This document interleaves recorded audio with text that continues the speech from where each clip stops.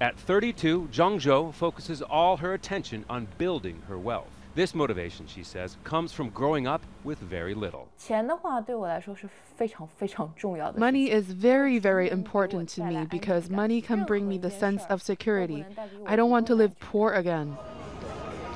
Living in Hangzhou, Zhang Zhou embodies the entrepreneurial spirit in the city known for its financial technology industry and home to e commerce giant Alibaba.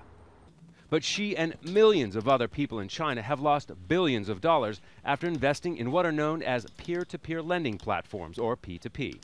Amid stricter government oversight and the panic withdrawal of funds by investors, more than 200 firms have failed in the last three months.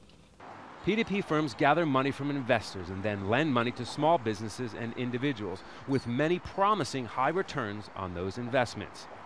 And that concerns economists, as the P2P industry in China is the world's largest, with more than $190 billion at play. This on the 10th anniversary of the global financial crisis. For the debt problem, I think it's a hidden bomb in China for a long time.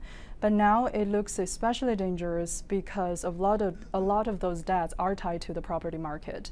And uh, uh, like the recent P2P crisis, uh, much of the borrowing or used to finance and their housing market speculation And she says some aspects of P2P lending are similar to the subprime loans in the U.S. that led to the 2008 global financial crisis. The outcry over the failing P2P companies was so big in July that the government here in Hangzhou had to use athletic stadiums to house the complaint centers for the thousands of investors looking to get their money back or simply find out where it went. Some of those who lost money took their anger to the offices of one P2P firm, protesting out front, chanting, We want our money back. As a businesswoman and investor, Zhang Zhou has diversified her investments, not just in P2P firms. She's lucky, as many other Chinese have lost their life savings in the crisis.